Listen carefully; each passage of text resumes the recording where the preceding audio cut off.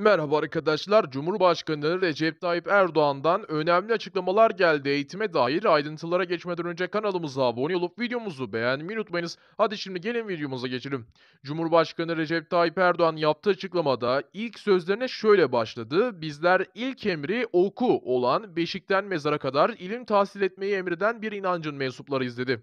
Ve bana bir harf öğretinin 40 yıl kölesi olurum diyen okumayı, araştırmayı, ilim ve hikmet peşinde koşmayı daima yücelten bir gelenekten geliyoruz.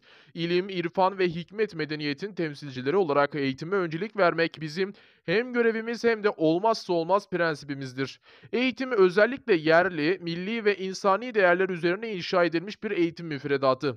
Ülkemizi e, taşıyacak ve yegane yoldur. Nasıl eğitim için harcanan her kuruşun çarpan etkisi tartışma götürmezse, eğitimi ihmal etmenin bedeli de çok ağır ve yakıcı olacaktır. Türkiye vesayet ve istikrarsızlıkla boğuştuğu dönemlerde evlatlarının eğitimine gerekli hassasiyeti göstermemenin faturasını ödemiş bir ülkedir.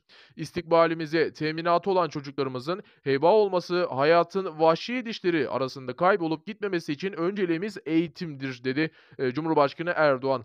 Ve yaptığı açıklamalarda öğretmen sayısının şu anda 1.2 milyon olduğu da belirtildi ve, eee, baktığımızda birçok öğrencinin artık eğitime çok rahat bir şekilde ulaşabildiğini söyledi aslında Cumhurbaşkanı Erdoğan. O nedenle önemli açıklamalar geldi ve toplantı, daha doğrusu bir açılış yapıldı, toplu bir açılış yapıldı ve toplam 122 okulun açılışı yapıldı İstanbul'da ve gerçekten çok ciddi yatırımlar yapılmış, eee, bu okullara. Cumhurbaşkanı Erdoğan da yaptığı açıklamalarda bu şekilde belirtti.